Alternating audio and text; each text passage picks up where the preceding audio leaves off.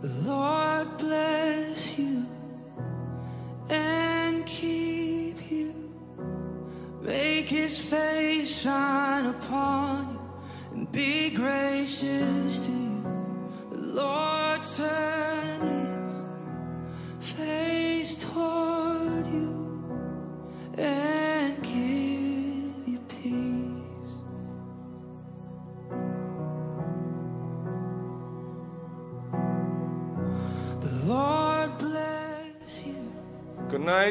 Good night. Greetings again to one and all.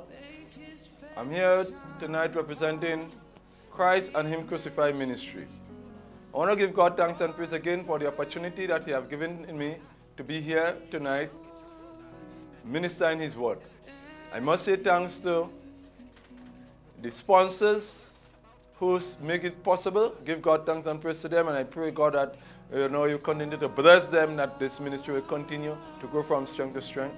Also, I want to say thanks to the staff, to the management and staff of MTV. I must say they are very, very, very, very, I say, grateful to us, and I can say I always get a warm welcome when I'm coming to the studio, and I want to say thanks to each and every one.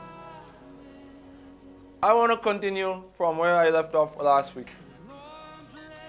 My sermon last week, part one was Stay in God.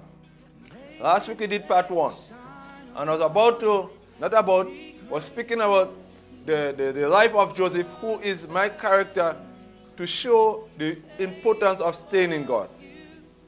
So before I go into the, the message, I just want to acknowledge our Lord and Savior Jesus Christ.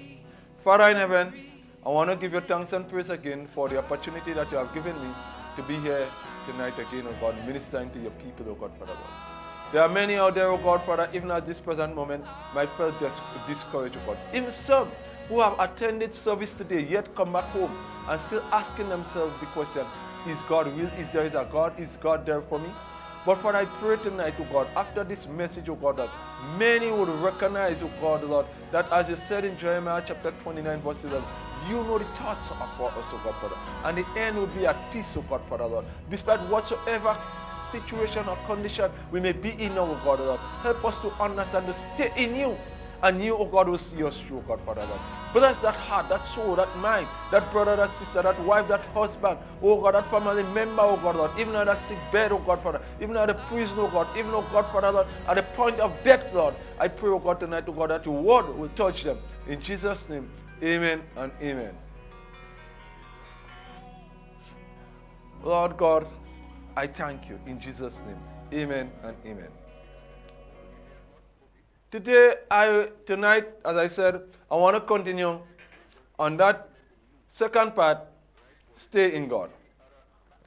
In the first part, if you recall, I was just trying to bring forth and show you the journey of Abraham to that seed that God had told him would go into bondage for over 400 years. And I have, if I recall, we reached to the point of Esau and Jacob.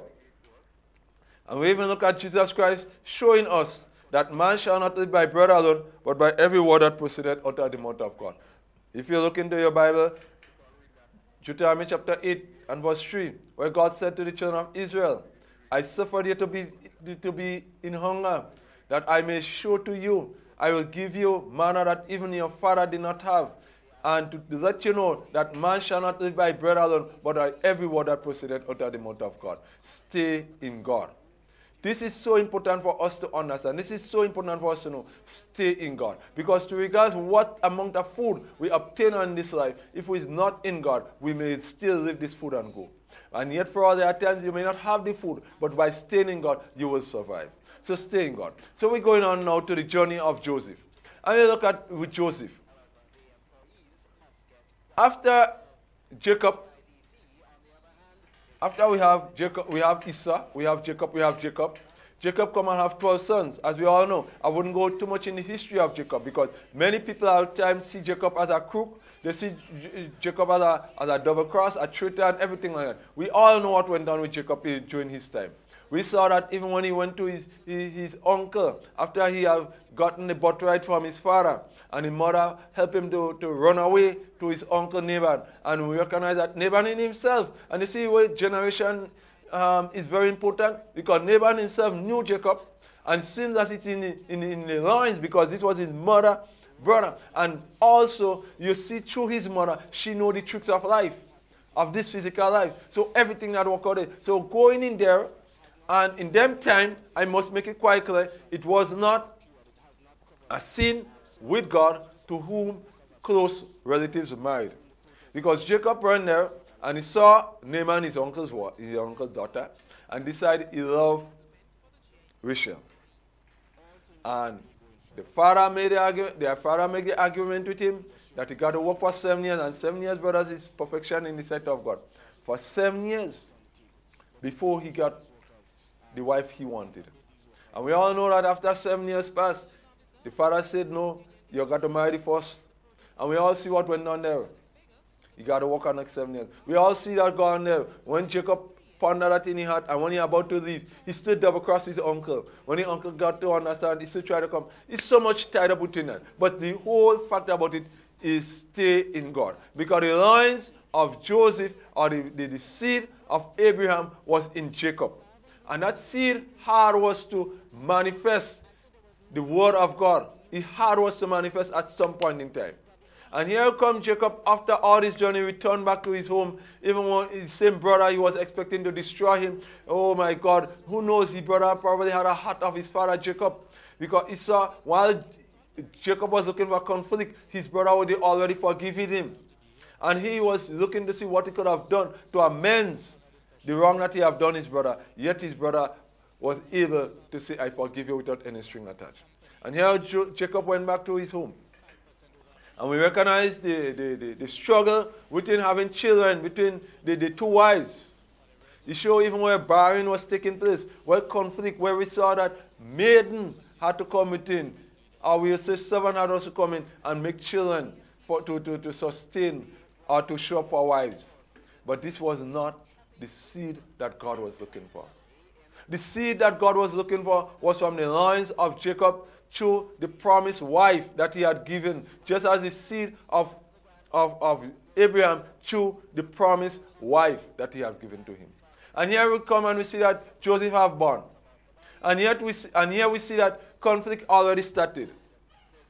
And what I want to show us here tonight, as many people have seen it in a way of Joseph born and he was hated and maltreated by his own brothers. It was not meant to be so. It was the promise and a covenant that God had made with Abraham.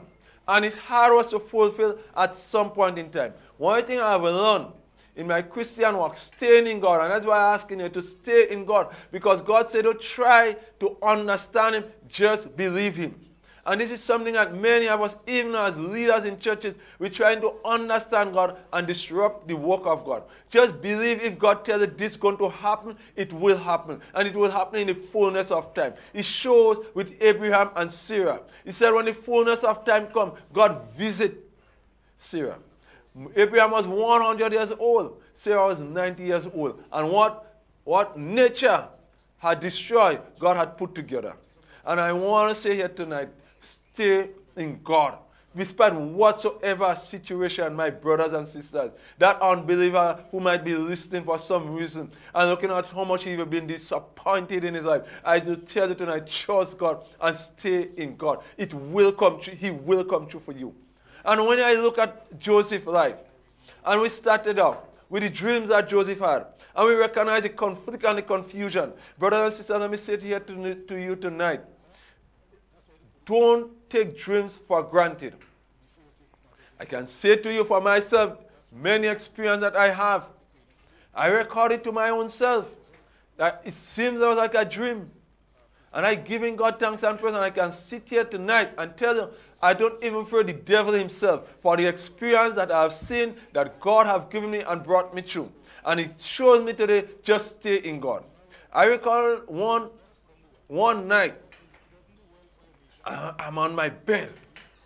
And I have just seen a short man come. He have taken my son from his room. and he bring him come in my in my in, in my my room with me and my wife and tell him lie down in the center of them. And I kill in all of other tonight. A man who may be just about two feet tall. He can't even climb up my bed.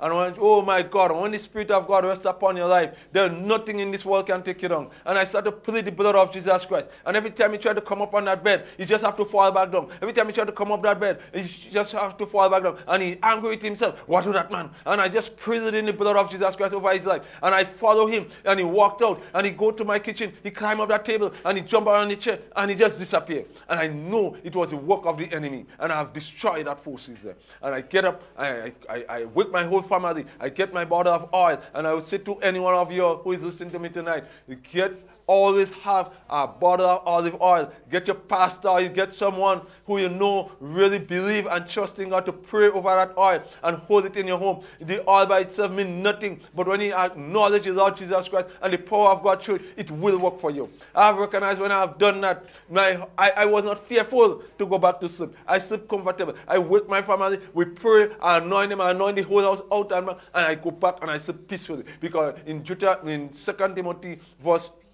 Chapter 1, verse 7, the Lord said, I did not give you a spirit of fear. And I remember that, and I say, nothing in hell going to destroy me from my sleep. I recall also one time I, I know I finished big, do everything, and in the middle of the night lie down to sleep in and just find myself, I can see myself leave my bed, go to the kitchen, took a piece of bread, stand up in my main door, eating, and this this dark, tall man, no figure face, but just pushing me, want to push me out my own house. And I say, no way in the name of Jesus Christ. And I start pleading that blood again. I plead that blood, I plead that blood. And he, he, talking, but he could not, because the Spirit of God was standing there with me, because I stayed in God with it, regardless what I did not doubt, I did not have no fear. I stayed in God, and God was able to help me push that man out of here. And when I recognize, I just see myself back on my bed, and he tried to strangle me, and I, my foot was kicking, and I say, and I plead that blood of Jesus Christ, and he had no choice but just to disappear. And I say, Thank you, Lord. I know what I'm speaking about. Stay in God. To regards who you are, stay in God. The last encounter I have, I remember I was calling, oh God, my God, to give in a position. And oh, in that dream that night before that position was ready to announce that day when I, before I go for the interview, I remember lying on my bed. I was doing some good deeds. I can see myself doing, doing some good deeds for some people. And there was this voice. I would not even call name, but this, there was this voice come, you will never be in control of nothing. You will never be able to do nothing. nothing. And when I look up, I saw an eagle high above with a serpent, a black and white serpent, flying across. And it just dropped right in front of me. And when I look, I see that serpent down on, right in front of me. He hardly could move, and he only moved his head so like a wounded, a wounded soul. And I say, I don't even touch you, you already died. I don't even fight with you, I leave you right there. And I can tell you when I get up that morning and I walk to go to work a few feet away from my home, I can tell you I literally see a dead black and white serpent just as the one I seen dead on the side of the road. I say, I don't even touch you, you're already dead. And I'd say, Thank you, Jesus, because I know I had enough experience staying in God. I remember I have a neighbor who cried loud, make noise. She couldn't get her job. It's like they was just bulking her. They only promising her. And then I remember I went and pray with her. When I come back home, we, we have discussion over it. I go back, I pray with her. And I remember one one, one morning I get up to go to work, and when I look, I saw her in her, in her house, and I call her to her before I go to work. I say, anoint your house today. And she didn't anoint your house. And I can tell you, two days after, she find that job, that job which be which be litigated for for years. She got it in two days' time. Stay in God, my brothers and sisters. God will see you through. God will make it for you. While I'm sitting here today, I'm not sitting here in myself. I'm just sitting as a representative of God. And I'm just speaking because of the experience that I have with God. Joseph men do not understand. It was God's hand upon Joseph because Joseph moved from the pit to the to Potiphar and to, to from the from, from Potiphar to, to the prison and from the prison to the palace. Four P's Joseph had us to deal with. From the pit to Potiphar house, from Potiphar house to the prison, and from the prison to the palace. And this is the same thing God wanted to do for many of us. Because why? God's hands was upon Joseph. If you recall, if you recall that Joseph, even when Potiphar's wife attacked him, he did not say he would sin against his father. He said, I will sin against God. And that's sometimes many of us don't acknowledge God. We always give him second place in our life till when trouble overtakes us, then we turn to God. But Joseph did not see anybody else at that point in trouble, but he saw God.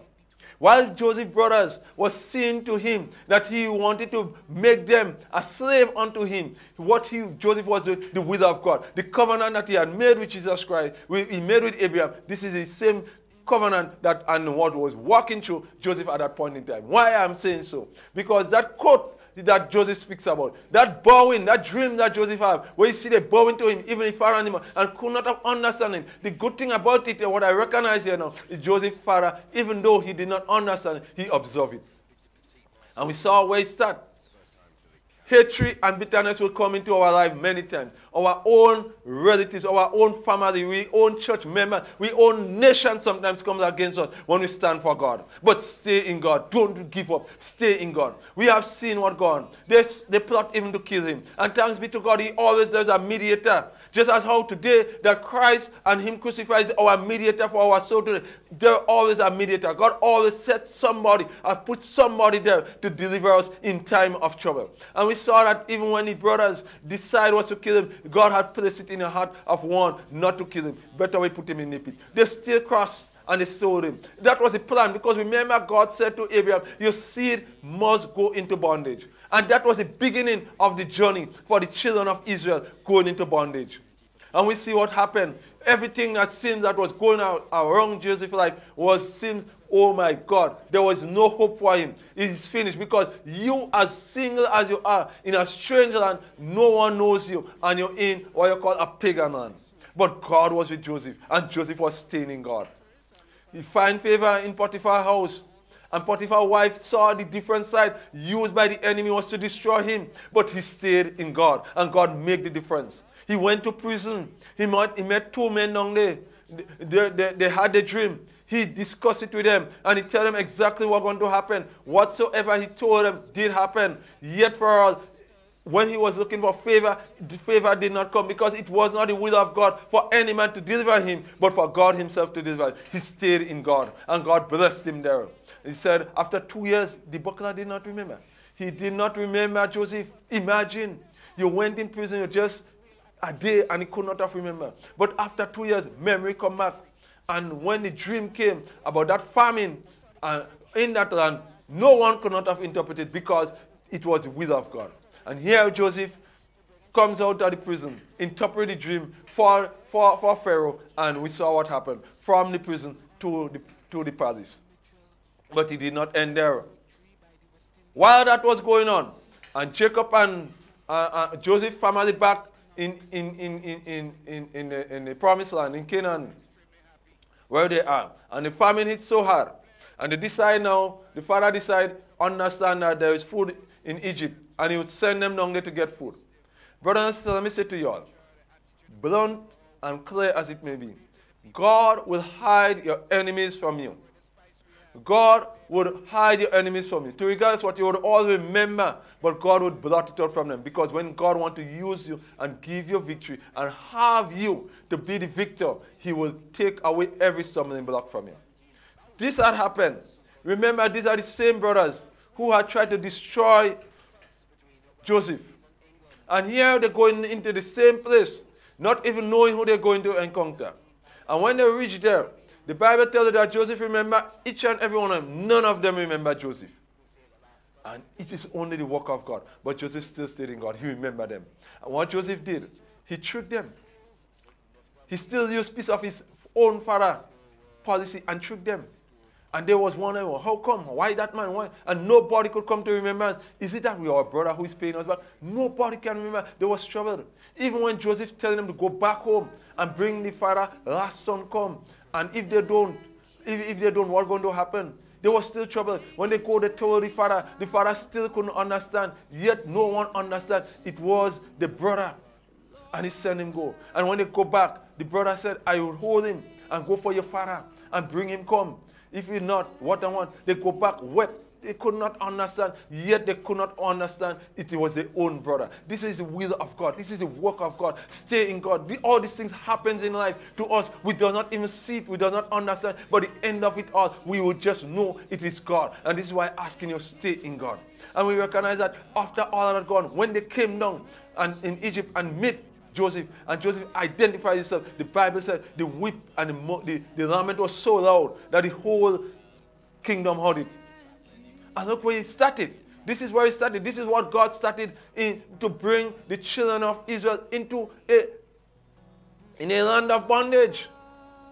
It took all of this for what God had promised Abraham and what God had said to Abraham must happen. And it did. And it did happen at the time that God said.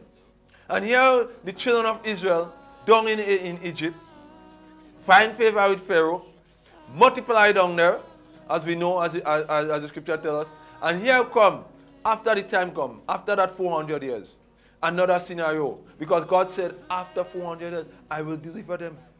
And there come another Pharaoh who did not knew the blessing of the children of Israel. And hatred had risen up in his heart. And as the Bible said, God said, I would harden his heart because the time has come. Brothers and sisters, stay in God. God had sent Abraham's seed into a land of bondage after pain and sorrow. And you know something of all of that? Many Christians only remember one portion of scripture through all of that. When they meet and when they encounter the enemies and encounter trials and tribulation and difficulties. Oh, what you meant for good, God, what you meant for evil, God meant it for good. But they never recall that Abraham, eh, Joseph himself said, what you meant for evil, God meant it for good. But he also tell them, God have sent me long before to preserve your life.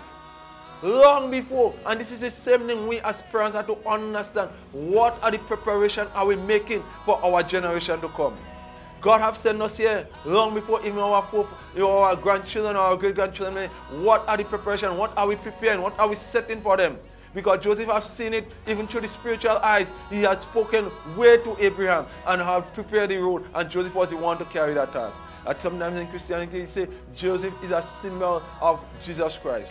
And I will say to you here tonight that when you look at the scenario with Joseph, for 400 years, God did not dealing with the children of Israel. He left them there in the bondage, and they was crying and weeping. Between the book of Malachi and Matthew, 400 years, God did not speak to man. But when the fullness of time come, He sent a deliverer.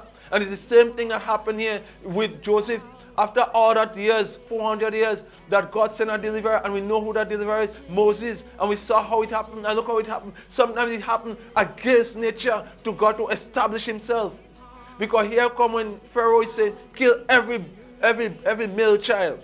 God still happened to preserve a, a male child throw into the river, take that same male child, bring it into the house of Pharaoh, and grow as he old. As we will say, he was his second in, in, in command. And here what happened. Sometimes we look at things over and over in a different form. That same child who grew in the house of Pharaoh had to become a murderer in order to, to, to move out there of the comfort zone for God to use him. Brothers and sisters, let me say to you. I remember growing up, there are times I used to leave entertainment at home. Football in the park, crowd thick, I would leave it and go and meditate, focus on my life. I would not go to movies sometimes. I was never somebody loved to go to dance, even though I would pass through it. But I always want to see what my life is without the entertainment of life, without being in the crowd. And I would say to many of you all, while some people get so caught up and destroyed because they are in the crowd, they are not seeing the destruction of their life. All what they are seeing is a crowd.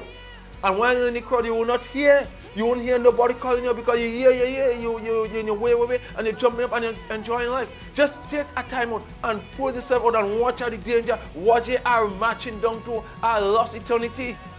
But when you pull yourself out and you see it and you ask yourself, is it me? Is it I who was in such condition? God, and then God starts to speak to you. I use this opportunity and thanks be to today. I can say thanks be to God. I was able to stay in God.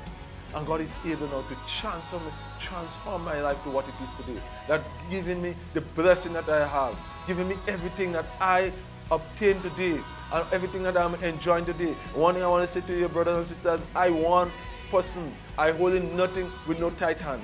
I hold everything with a slack hand because I don't want nothing to hold me back for when I have to move into the ministry of God and when God ready to call me like Paul. We say, I fought a good fight. I want to see that. I don't want to look back and say, I have this to finish. I didn't know everything. Even my home, to regardless what, I hold in everything with a slack hand because my destination is not here. Even Joseph said to them, even though he had obtained so much in Egypt, he said, when you're going he had that, that, that he was with God, even though he, he said, he said, when you're ready to leave this place, don't leave my bones here, carry it with you. because he know that was not the final destination. And brothers and sisters, your situation today are not permanent. It only become permanent because to how long you hold it on to. But there is a deliverance. There is hope. There is some way out for you. But the only way you can see it is through the Lord Jesus Christ and Him crucified. The only how you will know that there is hope on the other side is trusting God and putting that aspect of life into the Lord's hand. There are many of you today who might be sitting, even through your own family life, as some people might say, you seem like the black sheep. You are not the black sheep. You are one of chosen, of God chosen. God knows even the hair on your head. He knows you. But what He needs you to do is to surrender to Him and give Him your heart to do.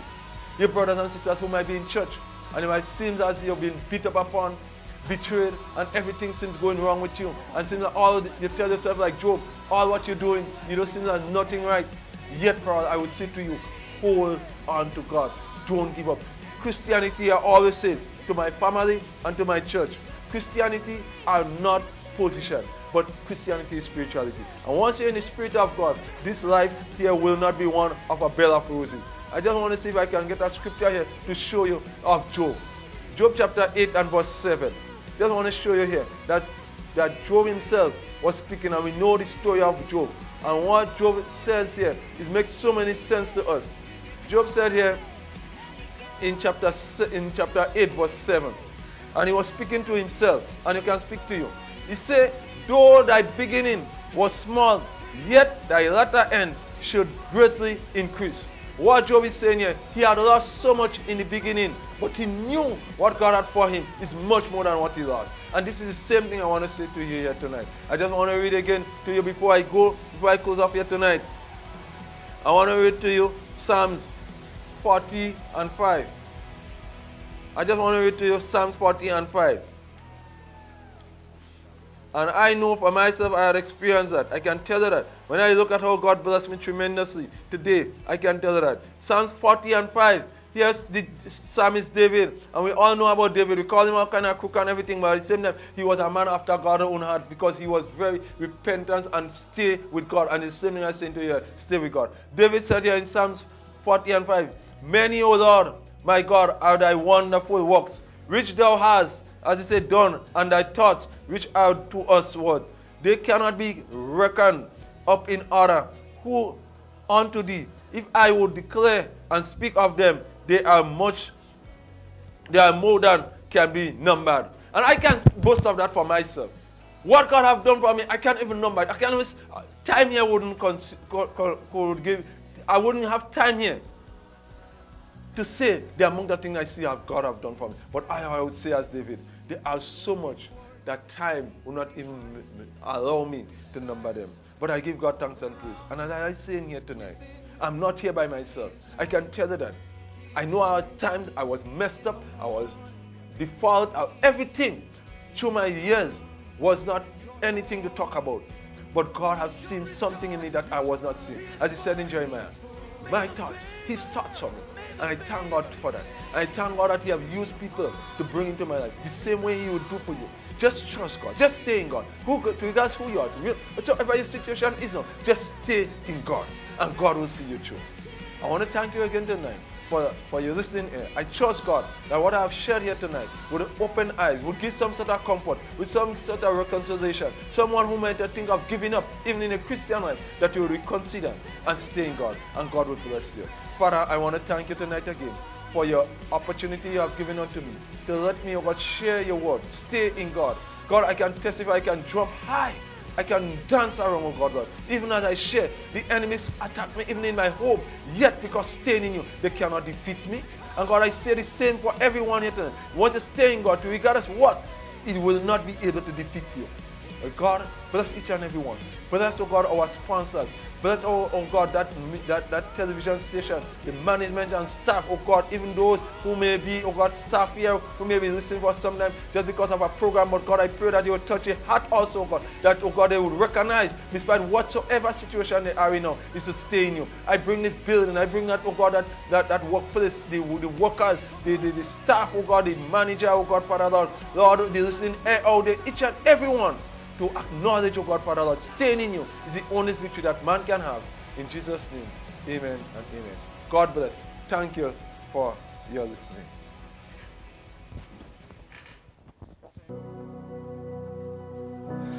Lord bless you and keep you. Make his face shine upon you and be gracious to you. Lord, turn his face toward you and give.